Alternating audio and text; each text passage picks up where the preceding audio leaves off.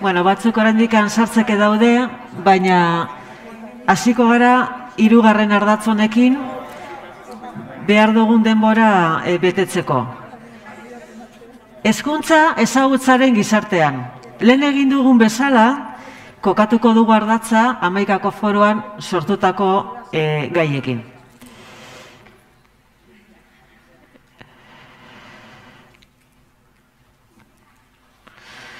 Baserra pasada.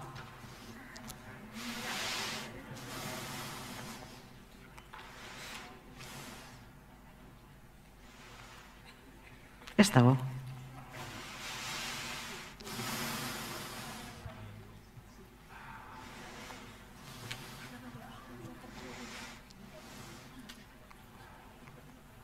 Hortxe, hortxe. Lehen egin dugun bezala, jarriko dugu mai gainean amaikako foran plantatutako galderak. Ez ditut irakurriko lehen egin dudan bezala, ez ditut irakurriko. Baina hemen behintzat planteatzen diren galdera e, ikurra. Zein da eskuntzaren e, tokia ez da, ezagutzaren e, gizartean, eta planteatzen gendun galdera potola, hau zer ezagutza da legitimoa gure hezkuntza sistemetan eta gure gizartean. Foroan, aipatu ziren e, gaien inguruan, bilatzen zutena, plantatutako erronkak, plantatutako premiak, bilatzen zutena zan, dakagun premia kritikotasun ez hausnartzeko, kokatzeko, herri moduan, gizarte moduan, eta eraldatzeko tresnak behar direla. Gizarte eraldaketa beti helburu, etorkizuna zari gara, baina e, egungo errealitatearen baldintzataz ari gara, etorkizuna ere ikitzeko. Eta gizarte eraldaketa helburu ezagutza sortzeko egiturak edo bilguneak horren premia dugula. Eta gakoena pertsona erdigunean jarri behar dugu. Eta hortarako gaitasun sozialen garapena, eta tokiko errealitatearen ezagutza komunitarioa. Azken finean, esaten duguna da, ezagutzaz ari garenean, izateaz ari garera. Izate pertsona eta izarte kolektibua. Eta hortaz e, ezagutza hori garatzeko tresnak behar ditugu. Eta hemen baditugu tresna batzuk ahaztuta ditugula. Asko azpein beharratu zen, humanitateak, gizarte zientziak, sorkuntzak, behar dituzten e, errekuperazio, ez da berriz erdigunean kokatzeko premia dagoela. Eta birpentsatu behar dugu zer rol daken orain eta beharko luketen. Eta bukatzeko teknologien paperaz ere behar dugula hausnartu. Ez hainbeste e, nora ustartu aurrez aurrekoa, onlinekoa, aukerak, arrakalak baita. Irizpietiko eta demokratikoa zitzegin behar dugu. Benetan esanguratsuak e, izateko tresnabiek irizpide etiko eta demokratikoa hitz egin behar dugu. Eta hortarako, usnarketa hori egiteko ere, tresnak behar ditugu. Oso modu orokorrean, lehen bezala gaia planteatuta, hasiko gara eduki zornitzen.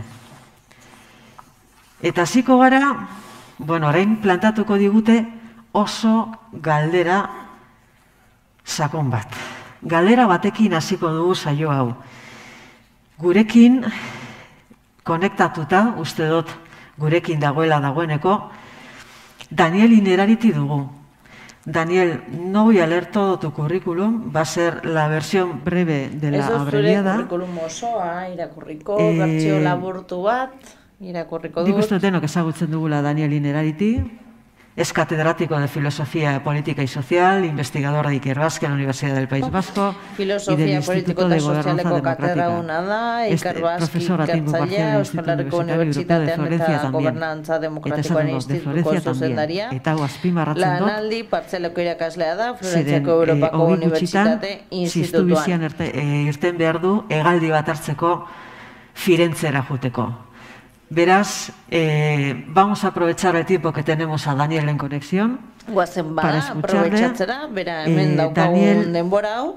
Eta pues entzun diezai, una pregunta, él mismo se preguntará egingo digu, y nos lanzará bere buruari eh, esa, esa pregunta. Dio, eta Educar en la era de la incertidumbre. Bere gaia gai batean, estea. Egoera hontan, eskuntzak zer. Daniel, hor zaude, ikusten zaitut, entzuten gaituzu, ikusten gaituzu, nos ves, nos escuchas, Daniel? Bai, bai. Ongi etorri, mila mila esker, gurekin izateagatik, e, esan dizuet, hogei gutxitan ziztu bizian egaldi bat hartu behar du, guazen aprobetsatzera e, berakin gauden denbora, bere itzaldi entzun, eta ikusiko dugu zetartea dakagun e, berakin solasei e, irekitzeko. Baina Daniel, zure txanda, tu el momento, eta eskerrik asko. Zuri, Beatriz, eskerrik asko, eh, unon guztioi. Bueno, yo quería hacer una, una reflexión Nik go eta bat egin nahi nuke go eta funtsezko bat. Ze motatako balio eta printzipio behar dira hezkuntzan gure bezalako gizarte batentzat duela urte bat zuk ezagutza gizartea deitu izan genuena, baina nik uste, nu, uste dut oedala ziurgabetasunaren gizarte deitzea eta zortzi balio printzipio aipatu nahi ditut. Niretzat garrantzitsuak direnak ulertzeko zein den e, ezkuntzaren eginkizuna gizarte honetan gizarte honetan hain zuzen ere. Zeinean funtsezkoena den ikaskuntza egitea ziurkabetasunaren testu inguruan eta horretarako nik uste dut fokalizatu behar dugula bederatzi kontzeptutan labur labur azalduko ditu denak errefleksibitatea, ignorantzia, suntsipena, interpretazioa, sormena, zehazgabetasuna, inkompetentzia eta inutilitatea. Oso dramatikoa dirudi guztia, baina gero badu bere, bere soluzioa. Errefleksibitatea gizarte asko asko jaken izan dute, baina gurean ez da asko dakigula, baizik eta asko jakin behar dugula guk ditugun arazoen arabera. Gehienetan, krisi gehienak eta arazo gehienak eta guk ditugun erronka gehienak gizarte gisa, mobilizazio handia eskatzen dute, ezagutza berri asko eskatzen dute. Eta horretarako, jadanik dugun ezagutza, liburuetan dagoena, liburutegietan, eta praktiketan eta tradizioetan dagoena, ez da nahikoa. Beraz, gure erronka handia ezagutza berria sortzea da, ezagutza desberdina jadanik daukagun horretatik. Eta nolabait des ezagutzaren gizarteak ere bagara ez gauza asko ez dakizkigulako, baizik eta kontrastea handia dagoelako gaur egun dakigunaren artean, eta jakin beharko genukeren artean arazo edo ronka horiei aurre egiteko. Bigarren gaia ziurgabetasuna da. Hau da, esan genezake, ba, nola eziko ditugu gure buruak eta gure aurrak hezkuntza sistema baten barruan, ulertu ahal izateko ze frikzioa ze frikzioa mantentzen duen ignorantziak gizarte honetan. Gizarte honetan ignorantziak ezagutzarik eza eta ez ezagutzen ez ditugun gauzaiek ez da mi korapilo bat. Bezik eta gai hauek gai hauetan hainbat e, e, trebezia garatu beretuko badira nik ezakizkidan gauzak eta ba, batzuetan ezakit ezakidala. Baina nik zerbait egin barrut horren guztiaren inguruan. Barkatu pixkat e, filosofo gehiago jarri nahi, zinez ez da perfektua. Baina aipatu nahi dituz erronka ziur gabetasun, ze beldur izan egun, ze apustu egin behar ditugun. Eta oso errealitate desberdin batean e, formulatu diren hoietan gizarte gisa. Eta honekin esan nahi dut guk hartzen ditugun erabaki kolektiboak eta pertsonalak direla dakigunaren arteko eta ez dakiguna arteko muga ez da egonkorra, ez da jakina. Eta horregatik valorazio desberdin bat egiten dugu arriskuen aurrean eta zilegi den hoien aurrean batzui irutuko zaizke gehiagizkoak direla beste batzui irutuko zaie e, ez direla nahikoak. Baina funtsean gure eztabaida guztietan finkatzen balin bagara, eztabaida politikoetan, esate baterako, horre guztiak eh, adierazten digu ez dugula bal, benetan baloratzen, baloratu behar dugun moduan, baloratu behar dugun hori. Eta zer ematen digun beldur gehiago ba, adibidez, e, pertsona liberal batek oroar e, gehiago beldur dio e, estatu de burokratikoari, merkatuari trabajartzen dizkin horri, sozialista bati beretan kezkatzen diona da sortzen den aberastasuna ez dela ondo banatzen. Beraz, bi modu desberdinak dira ulertzeko, bi beldur desberdin, bi balorazio, arrisku balorazio desberdin. Eta gero ere batxertoen hauzia ere bai, eta krisi sanitarioa ere hor dago guk hartu beharreko erabaki bakoitzean, horrek arrisku bat zekarren, arrisku batzuk zekarzkien. Eta batzuei gustatzen zaizkigun batzuk gehiago edo gutxiago beti ere kontan hartu zen motatako arrisku iruditzen zitzaizkigun kezkagarriagoak. Beraz, bigarren ideia hori izango litzateke nola kudeatzen dugu ze tresna ditugun eskura benetan ezakegun horrekin zerbait egin izateko. Hirugarren hauziak zer ikusia di, bueno, gogorra ematen du, baina oso erreala da. Eta ez dugu ezagutzen aurre egiten, ez badugu ezagutza suntsitzen, ondatzen. Hau da, bizi gara infoksikazio, infozabor ingurunetan. Eta informazio metaketa ikaragarria dago, datu metaketa ikaragarria dago, eta datu horiek askotak despistatu egiten gaituzte. Beraz, gizadiak aurrerapen handia izan du datuen sorkuntzan eta informazioan eta baita ere ezagutzaren sorkuntzan, baina guk izan dugun aurrera bidea datu hoien ulermenean edo mundu horren ulermenean oso apara da konparatzen balin badugu lehenarekin. Beraz, zer dugu esku artean? Gehiagizko estimulu ditugu, informazioak ematen direla ematen dutenak, baina haien aurrean gutako bakoitzak eta baita ere hezkuntza sisteman dauden pertsonak antzeman egin balein baditu kontratu berdea ea informazioa den edo ez, ea zarata den edo ez. Eta orduan askotan egiten duguna da modu batean edo bestean eh, azalpen neuronala ere badu giza percepzioaren hauzia ze gizakiak etengabe ari gara hautatzen modu inkontzientean e, datuak inguruneko datuak eta ez ditugu beste batzuk kontutan hartzen. Hau da zeratak isartzen ditugunak bera zein da gure harremana soinuarekin. Nola erakusten diagu aurrei benetan bereizten zer duen e, zeri egin behar diogun jaramon eta zeri ez. Eta beraz, nola bait, egunero e, gero eta garrantzitsuagoa da, odei ertz horretan, informazio odei ertz horretan, eta datuen ugalketa horretan, batzuetan garrantzitsuagoa da, hainbat gauza omititzea, hainbat gauza aztea, hainbat gauz, gauzari kasurik ez egitea. Eta esaten dut, jakintza garrantzitsuena da, zer zer ez dudan jakin behar, zer ez, zertan ez dudan beharrik ze informazio berrik ez dudan. Informazioa nik elatzeko eta gauza batzuk albazter batera usteko. Zuk kontutan izan nahiko bazen ditu gauza posible guztiak, ba ezin ezkoa izango letzateke den dena ezagutzea. Beraz, zer ez dugu ezagutu behar, zeren beharrik ez dugu alegia. Laguarna da interpretazioa da. Hau da, oroar, ez da arazo handi bat mm, Umbertoko bustintzek e, aurka egingo ditu honetan. Baina nik uste datuak izatea ez dela arazoa, hau da, e, hori neko errex lortu daiteke. Arazoa da, gure gizartean, zenbat datu funts gabe dauden, eta zentzurik gabekoak, eta zenbat adierazle trivial dauden. Esan nahi dudana da, informazioarekin askotan ez dela bere izten zer duen zentzua eta zer ez duen zentzua. Eta adibidez, enziklopedia batean adibidea jartzeko, e, gizaki batek e, inteligentenak izan dezakeen informazioa baina gehiago dauka. Baina e, jakitea informazio baliozkoa izatea da eta gogoetarako refleksibitate handiarekin. Etorkizuneko langilea, guk ez dugu oso ondo ezagutzen duleko izango den, ze gaitasun eskatuko diren etorkizunean, baina badakigu etorkizuneko langilea espezializatua izango dela informazioa diseinatzen.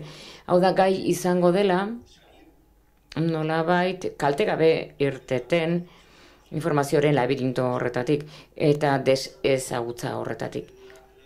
Beraz, datuak eskentzen dituzten sarek ez dute inolako erantzunik ematen oinarrizko galderetan. Eta horregatik puntu erreal honetan, interpretazio honetan, eskatzen da sedukzioaren alemena, selekzio, barkatu selekzioaren alemena, nola hautatzen dut, nola eh, selekzionatzen dut, ze gaitasun dudan nik, ze trebetasun dugun gizarte gisa arazo batzuei aurre egiteko. Bosgarren balioa edo printzipioa izango litzateke sormena. Eta hor nire lehema da zailena ez da aurkitzea baizik eta bilatzea. Zailena da bilatzea. Eta bilatzea baino interesgarriagoa, erantzunak bilatzea baino hobea da galderak egitea da. Galdera hoien galderak egitea da. Erantzun horien galderak egitea da. Eta hemen berezketa bat egin bar daiteke jaiotasunari eta prestakuntzari buruz.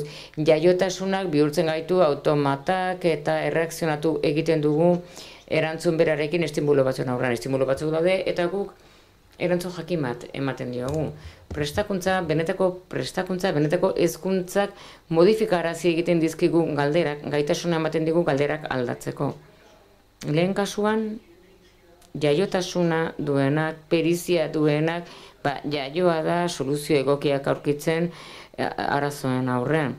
Bestearen kasuan, prestakuntza sakonaren kasuan, arazoak beraiek kudeatu behar ditu norberak. Hau da, identifikatu behar dugu, formulatu behar dugu, eta batzuetan birplanteatu egin behar dugu. Beraz, nik esaten dut, batzuetan adimen sortzailea dela, ezin dela deskribatu razionaltasun irizpide oikoekin. Hau da, gaur egun bezala, eta hezkuntzaren munduan, modu partikularrean, hau da, hemen el kontua da, esperientzia berriak izatea, eta ez aurren beste aurrera egitea eskuratutako jarraitutasunean. Hau da, baketsuki hor du digunak tradizioak, gizarte bakeko tradizioak, eta aldaketa disruptiboan handian egon ez direnak. Baina hemen kontua da, hauzia da, jakintza berri bat sortu behar dela. Eta kasu horretan ezin duguna, ez bai, ezin dugu ulertu ezkuntza transmisio soil gisa ulertu. Trebezien jaiotasunen, gaitasunen e, garapena bakarrik kontutan hartuz, baizik eta identifikatu egin behar dira arazoak eta bir formulatu egin behar dira. Ali berean beraz. Jarrera hori, ikaskuntzarako jarrera, ikaskuntza berriarekiko jarduerak exigetu egiten digu besteak beste. Gai izan behar dugulagu gure baitan eta baita ere e, zitzeko obligazio dugu nongan jarrera bat sorrarazi behar dugu. Eta nik esango nuke decepzioaren e, ikaskuntza dela. Hau da Decepzio bakoitzaren ondoren, zapuzketa bakoitzaren ondoren, errealitateak gezurtatu egiten dituenean gure espektatibak, eta orain arte dakigun genekiena ez da nahikoa arazo berri bat konpontzeko, nola kudeatzen dugu espektatiben decepzio hori? Gai ote garen insistitu ordez, hasitako linea horretan edo jarrai bide horretan insistitu ordez eta erraz eta zarra erabili ordez, horren guztiaren ordez gai baldin bagara, nola gugan aldaketa bat sortzeko, gure jarreran, eta jarrera bat ere bai arazoen formulazioan. Ze batzuetan gure arazoa da soluzioak ditugula, baina ez dugula arazorik. Ez dugu beharaina gogo eta egin gu eskuartean ditugun arazoen inguruan. El concepto de autonomia. Segarren kontzeptua autonomiarena da. Pixka bat hausnartu ezkero konturatuko gara mundua, une honetan, historiaren momentu apasionante honetan, ikusten dugu dakizkigun gauzak gehienak dakizkigu beste batzuek kontatu egiten dizkigulako. Guk ez dugu esperientzia bere alako eta zuzen, agun nien ez Madagaskarren egon, baina badake Madagaskar hor dagoela norbaitek esan didalako.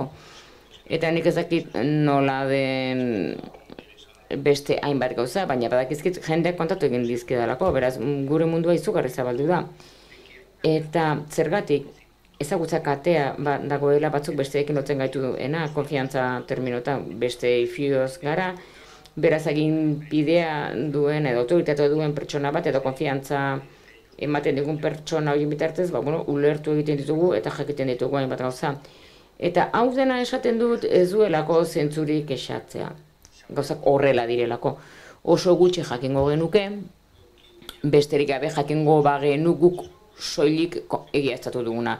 Lehen eskutik ezagutzen duguna bakarrik jakingo bagenu, oso gutxi jakingo genuke munduari buruz mundua, bigarren eskukoa da funtsean, eta esperientzia bigarren mailako gehiago daude lehen mailakoak, baina baina egia da eta mundu honetan zeinean konfiatzen ikasi behar dugun, fio izaten eta konfiantza kate hori kudeatzen ikasi behar dugu eta autoritate kate hori gure errealitatea zabaldu izateko. Horretan ikasi behar dugu, baina egia da gainera gizakiak gai izan behar dugula, behintzat arlo garrantzitsuenetan, gai izan behar dugu ezagutza hori guztia, ezagutza fiduziario hori guztia, pasatzea gure iragazki pertsonaletik. Eta gizakiak nolabait naiz eta erosotasuna txikin hori dugun, gauza jakintzat ematea, edo onartzea bestek esaten digutena, e, gizakiok pentsatu behar dugu ezagutzak nolabait bakarrik usten gaituela. Hau da, pentsatzea da kate hori etetea. Pentsatzea da gure buruari planteatzea ea guk eman diogun konfiantza horri aditu beti ea merezi duen. Eta behar bada, eta beraz, kritikaren iragazkitik pasa, eta gehiazapen pertsonatik pasa, ezin du ni Madagaskarrera joan.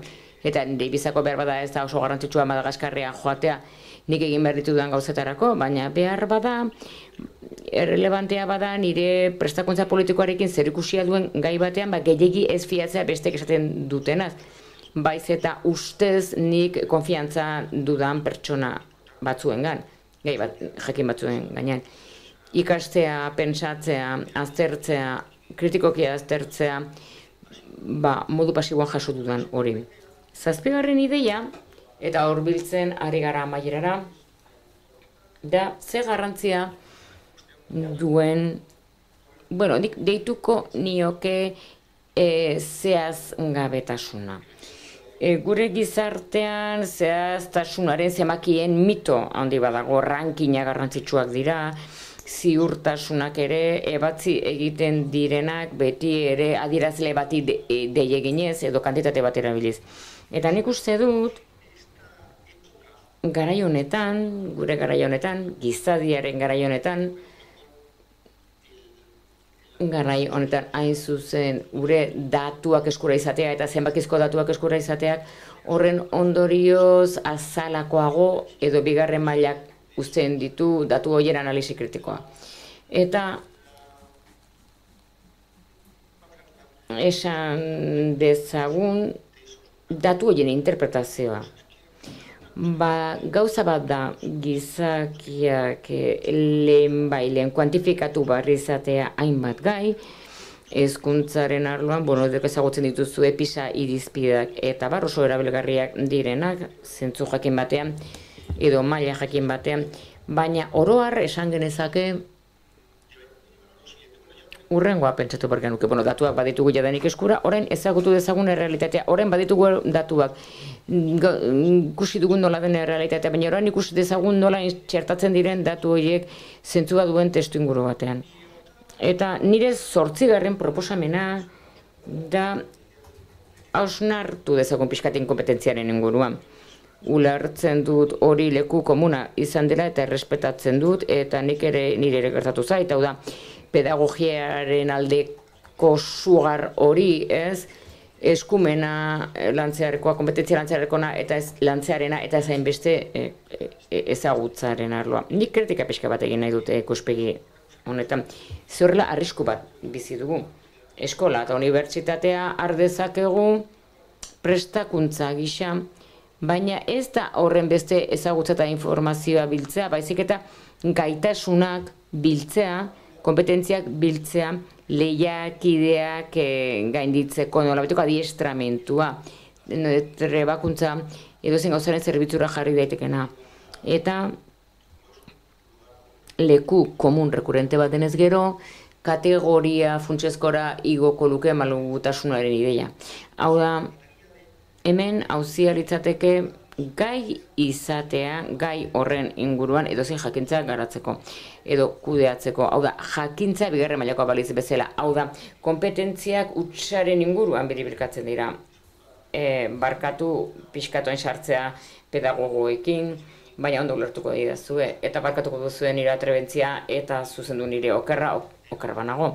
Baina irakurmena hitz egiten dugu, e, testu buruz hitz egin ordez, eta landu egiten dugu gatazkak ebaztearen hauzia, baina justiziaren zentzua landu ordez, eta ez da gauza bera zuzen ere.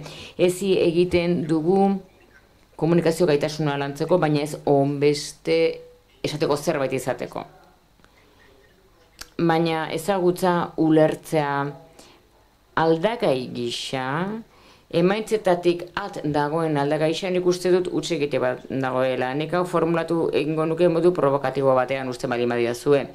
Hau da, eta eziketa hobeak azken finean ez balitz hau. Hau da, inkompetentziarako eztea. Hau da, e, trebet, trebatzeaz gainera eskatzen diren trebezia horietarako bizirik irauteko.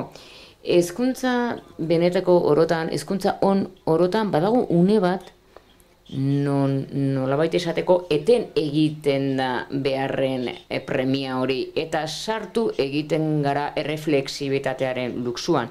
Sartzen gara espazio batean non kontua ez da gaitasun praktikoak garatzea. Baizik eta ikastea berez balioa duen hori kontutan hartu gabe ea horrek ase egiten duen erabilgarritasun berehalako bat edo ez.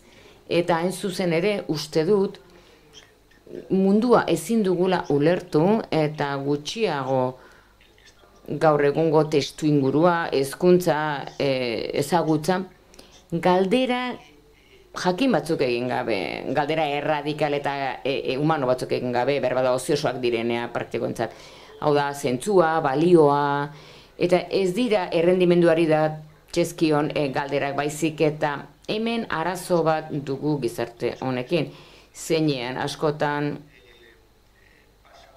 konbentzimendua pasa egiten da ideia honetatik ematen du arazoen konponbidea pasatzen dela ez izatetik, arazorik ez izatetik edo haiek kasu ez egitetik.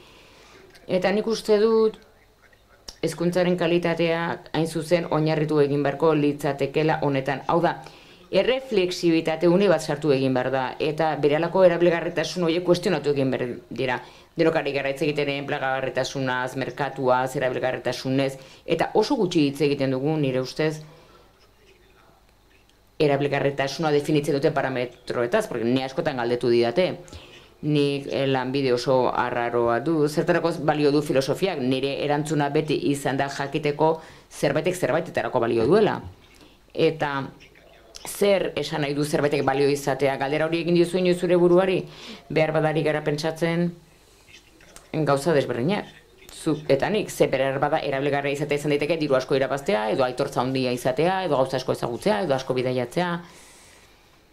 Baina galdera hori, zer da erabilgarritasunaren balioa eta hori gogo eta hori ez du egiten ez da egiten obsesionatuta baldin gaude bakarrik bere alako erabilgarritasun horretan.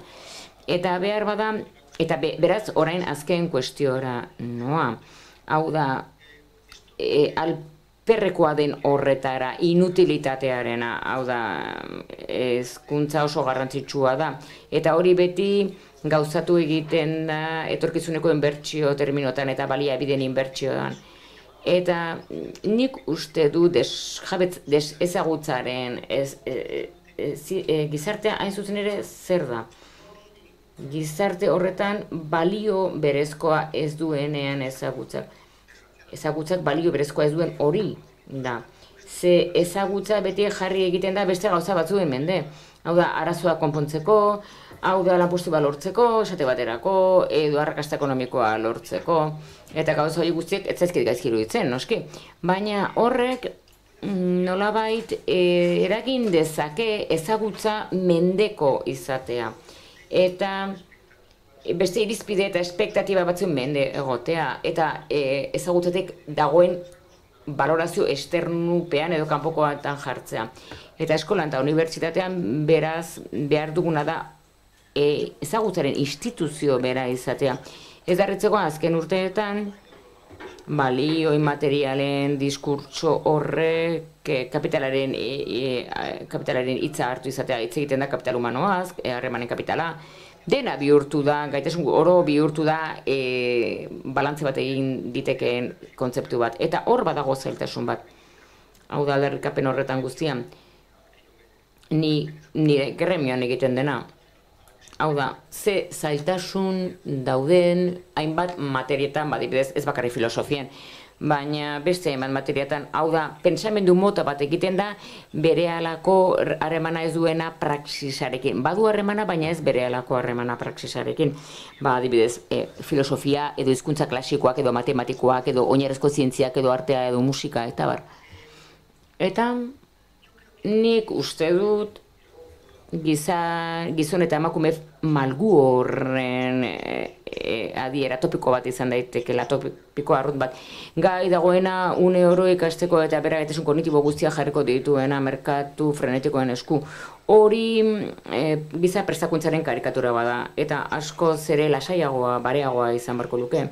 Eta jakintza zatikatu honetan, guk dugun honetan, hau da beti eskuragarri dagoena neurtua izateko erablegarretasun e, parametrotan.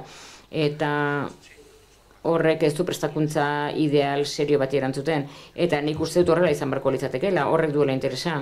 Hau da, jakintza berez badago besteri gabe zerbait azaldua denean eta ulertua denean, ez bihurtzen denean errentagarri. Hau da, jakintzak jakiteak esan nahi du gai izan behar dugula erantzun bat emateko zeri eta zergatiari, eta hori ez da zerbait ibidentea. Beraz, horregatik orain bukatuko dut honekin, orduan, guk jar, jazartu barko genuen, genuke jaz, jakintza mota, jakintza mota hau ezin da sortu ez balin badago nola baiteko askatasuna erablegartasunaren aurrean. Eta benetan errelevantea izateko e, e, imperatibo horren aurrean, e, praxisean. Behar badau izan daiteke lema egokia eskolarentzat. Hau da, izan beharko luke leku bat, espazio bat, askatasun espazio bat, erabligarritasunaren aurrean. Eta betare errelevantziaren aurrean, eta gaur eguntasunaren aurrean.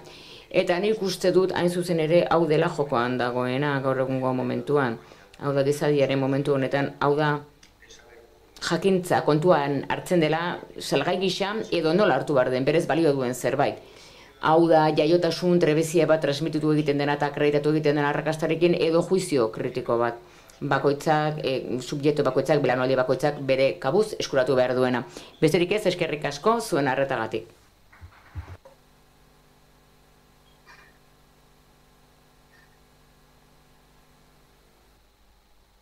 Mila esker, Mila, mila esker, Daniel, eh, hor zaude? Ez, ja, bai, Daniel, hor zaude, ez da zai. Mila, mila esker, Daniel, bidai ona izan, ez eh, irten zu ega eginez, coge con tranquilidad el vuelo, pero no salgas volando.